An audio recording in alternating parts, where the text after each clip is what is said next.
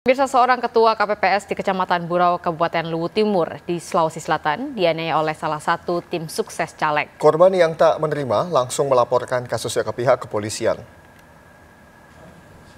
Seorang ketua KPPS Kecamatan Burau, Luwu Timur, Sulawesi Selatan, Kamis malam melaporkan ke kantor polisi setempat terkait kasus dugaan penganiayaan dirinya yang diduga dilakukan oleh salah satu anggota tim sukses calon anggota legislatif.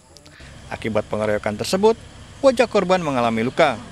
Saat korban melaporkan kasusnya ke kantor polisi, sejumlah warga di luar Mapolsek Burau tampak terus berdatangan sehingga petugas kepolisian dan Brimob terus melakukan penjagaan ketat. Hingga kini belum diketahui penyebab pengeroyokan tersebut. Belum ada keterangan resmi dari pihak kepolisian terkait kasus ini.